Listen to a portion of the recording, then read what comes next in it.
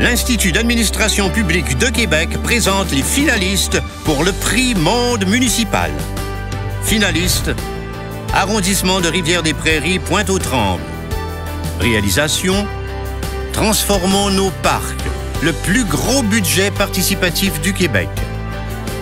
Le projet Transformons nos parcs est né d'une volonté d'impliquer les citoyens dans la vie municipale, dès la conception d'un projet jusqu'à sa réalisation. Un comité de pilotage a encadré toutes les étapes du processus. On y retrouvait des élus, représentants d'organismes communautaires et des fonctionnaires. Et le Centre d'écologie urbaine nous a accompagnés tout au long du projet. Des consultations ont été organisées avec des citoyens pour lancer des idées et développer des projets. On a innové en confiant une somme de 700 000 aux citoyens pour la réalisation de deux projets dans les parcs. Le grand défi de ces projets-là, c'est la mobilisation. Donc, on est allé sur le terrain à la rencontre des citoyens, dans des centres pour personnes âgées, dans les parcs, lors d'événements et dans les organismes.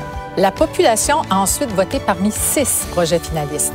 Et maintenant, on a hâte de voir se concrétiser les deux projets choisis par les citoyens. Ça a donné naissance à de belles initiatives citoyennes, comme ce résident qui a fait du porte-à-porte euh, auprès de ses voisins pour les inciter à voter pour le projet dans le parc à proximité. On a ouvert le vote aux jeunes à partir de 12 ans pour les intéresser à la démocratie et à la vie municipale.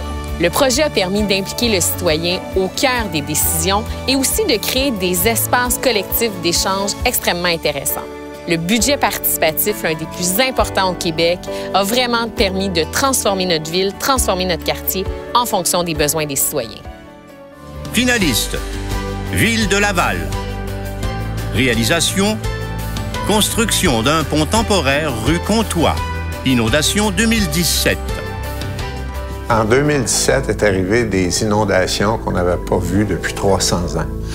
Évidemment, ça a isolé 22 familles sur l'île verte en emportant le pont qui relie l'île verte à Ville de Laval. Nos équipes ont compris l'urgence pour secourir ces familles-là et en une nuit, ils ont imaginé une solution. On s'est réuni une équipe d'ingénieurs euh, pendant toute la nuit pour concevoir et produire les plans d'un pont temporaire qui permettrait de rétablir le lien au service d'urgence et aux citoyens de l'île verte. Sur place, on dirigeait toutes les équipes, l'armée, les pompiers, toutes les équipes de la ville. 250 personnes par jour travaillaient à la mise en place de la structure temporaire. C'est un ouvrage de précision. C'est un pont temporaire de 50 mètres de long, lancé d'une rive à l'autre. Par contre, on devait faire attention à ne pas aggraver l'inondation en effectuant nos travaux. C'était tout un défi logistique. Nous avions des tonnes de matériaux à transporter, souvent à bras d'hommes dans des conditions difficiles. Nous avons travaillé fort. Après quelques jours, lorsque j'ai eu le privilège de marcher sur ce pont-là, j'avais un sentiment de fierté incroyable.